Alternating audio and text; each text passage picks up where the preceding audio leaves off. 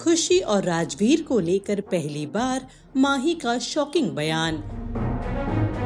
खुशी और राजवीर को अडॉप्ट करने से किया इनकार। कहा लीगल अडॉप्शन जैसा कुछ नहीं हुआ है। ट्रोलर्स के लिए माही ने दिया ज़बरदस्त जवाब। तो क्या है पूरी खबर? आइए जानते हैं।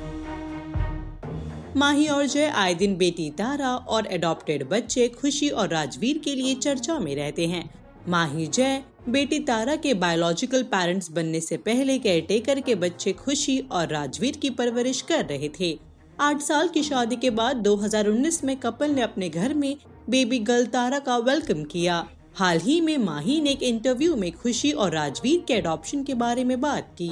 जूम डिजिटल को दिए गए इंटरव्यू में माही ने कहा हमने राजवीर और खुशी को अडॉप्ट नहीं किया। उनके पेरेंट्स हैं। उनके पिता हमारे साथ अभी भी काम कर रहे हैं। उनकी माँ है। बस बात इतनी है कि वो जब से पैदा हुए हैं, तब से हमारे पास रहे हैं। वो मुझे मम्मा और जय को दद्दा कहते हैं। हम एक साथ थे। हम एक हैप्पी फैमिली की तरह थे। लीगल एडॉप्शन जैसा कुछ नहीं है। मुझे नहीं पता कि वो कहाँ से आया।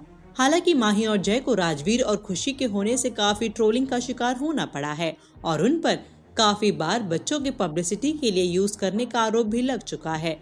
लेकिन माही ने कहा कि उन्हें नेगेटिव कमेंट्स के बारे में कोई परवाह नहीं है। उन्होंने कहा, पहले शुरुआत में मुझे ये थोड़ा परेशान करता था। मैं लोगों के लिए जवाब देने के लिए नहीं हूँ। उनके चेहरे नहीं होते। उनके फेक अकाउंट्स होते हैं। मैं अपने भगवान पेरेंट्स और हस्बैंड के लिए जवाबदेह हूँ। वो इसे अटेंशन के लिए करते हैं। वो मेरे लिए लूजर्स हैं। क्या कहना है आपका इस खबर पर, बताइए हमें कमेंट सेक्शन में।